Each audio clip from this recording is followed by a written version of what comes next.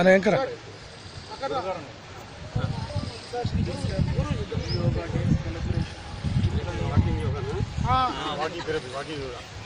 Stride walk అంటే Lions క్లబ్లో ఏమన్నా ఉన్నాయా స్లోగన్స్ చెప్పండి? స్ట్రైడ్ వాక్ అంటే ఇది డయాబెటిక్ గురించి ఉంటుంది నాకు అనిపిస్తుంది? సార్ అదే ముఖ్యం సార్. కాళ్ళు గడ్డిలో మంచిగా రైట్ వాసవి క్లబ్ బ్యానర్ వస్తుందా?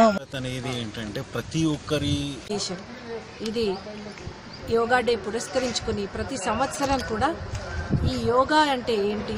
ఆసనాలు కేవలం ఫిజికల్ ఎక్సర్సైజ్ కాదు మన బాడీ మైండ్ సోల్ సమన్వయము యోగత్వం పొందడమే అని తెలపడానికి అందరికీ కూడా ఇది ఇప్పుడు ఈ సంవత్సరంలో చిత్ర లేఅవుట్ కొత్తపేటలో నిర్వహించడం జరుగుతుంది.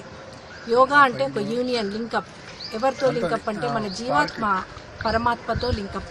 మన జీవాత్మకున్న ఈ ఐదు కోశాలు పంచకోశాలు కూడా మనము జాగృతం చేసుకుని నిరంతరంగా ఆ పరమాత్మతో ఉండడము ఎలా అనేది ఈ యోగా డే రోజు మనం అందరం కూడా తెలుసుకోవాల్సిన ఈ పార్కు కూడా సారు తర్వాత దామోదర్ గారు విజయశ్రీ వీళ్ళంతా కూడా ఈ డెవలప్ చేయడము.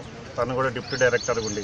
ఇలాగే ప్రతి ఒక్క కాలనీ కూడా అభివృద్ధి చెందాలని వారితో ఒక రెండు మాటలు డిప్యూటీ కమిషనర్ గారితో స్వచ్ఛ భారత్ అవార్డీ నరసింహారావు గారితో ఇచ్చి మాలాంటి ఎన్జిఓస్ని కూడా మీరు కోఆర్డినేట్ చేసుకుంటే మేము పెద్ద ఎత్తున ఫ్రీ వాలంటీర్స్ కాగా సిటీలో మేము ఒక మూడు వేల ఐదు వందల మంది ఉన్నాం. మేమంతా కూడా జిహెచ్ఎస్లో గతంలో ఎన్నో ప్రోగ్రామ్స్ చేసాం ఇంకా విస్తృతంగా మీరు చేసే కార్యక్రమం అన్నింటిలో కూడా పాల్గొంటున్నాం చెప్తున్నాం. రెండు నిమిషాలు మా జిహెచ్ఎంసీ డిప్యూటీ కమిషనర్ నమస్కారం అండి. ఇప్పుడు ముఖ్యంగా అంటే ప్రతి సంవత్సరం హైదరాబాద్ నగరం కూడా ఈ స్వచ్ఛ సర్వేక్షణలో పార్టిసిపేట్ చేయడం. ప్రతిసారి ఇంప్రూవ్ చేస్తున్నాం కండిషన్స్ బాగా. మేము కష్టపడుతున్నాం. దీంట్లో ఇది ముఖ్యంగా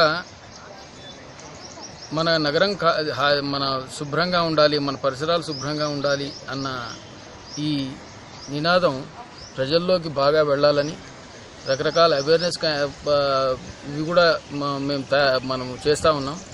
వీటిలో మేము ఈ ఆల్రెడీ వాలంటరీ ఆర్గనైజేషన్స్ అండ్ ఈ మా స్వచ్ఛ సీఎం పలికింది కాబట్టి చాలా సంతోషం అనిపించింది. మళ్ళీ మళ్ళీ కూడా పెట్టాలని మా కాలనీవాసులు కోరిర్రు. కోరిన వెంటనే సారు మమ్మల్ని డేట్ ఫిక్స్ చేయండి.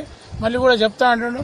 మాకు సపోర్ట్గా కూడా లయన్స్ క్లబ్ వాళ్ళు కూడా త్రీ ట్వంటీ డి అనే కొత్తపేట. డి ఎన్నికలు కూడా వచ్చి మాకు కూడా వాళ్ళు సహకరించారు.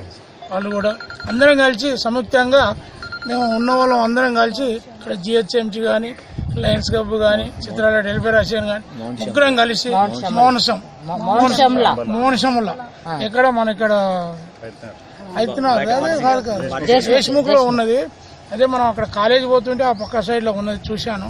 అక్కడనే సాయిబాబా గుడి కూడా ఉంది లెఫ్ట్ సైడ్లో పోతుంటే. దాటినాక సార్లది వస్తుంది చూశాను. ఫస్ట్ పోతుంటే ఇంకోటి అయ్యప్ప స్వామి గుడి కూడా వస్తుంది ఆ లెఫ్ట్ సైడ్ అందులో నేను బోరు కూడా వేసాను అప్పుడు.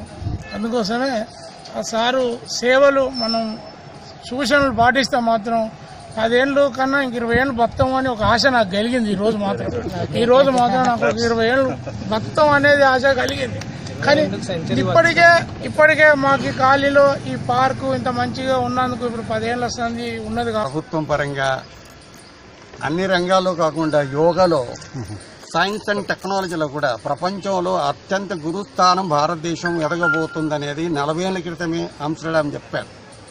అది యోగా ద్వారానే జరుగుతుందని ఇప్పుడు గుర్తించారంట. అట్లాంటి యోగా రెండు వందల దేశాల్లో చేస్తున్నారు.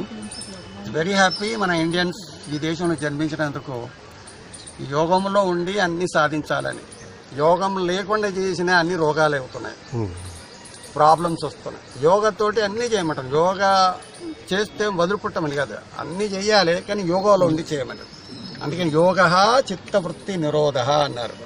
చిత్తాన్ని అదుపు చేస్తే ఆరోగ్యం బాగుంటుంది శరీరం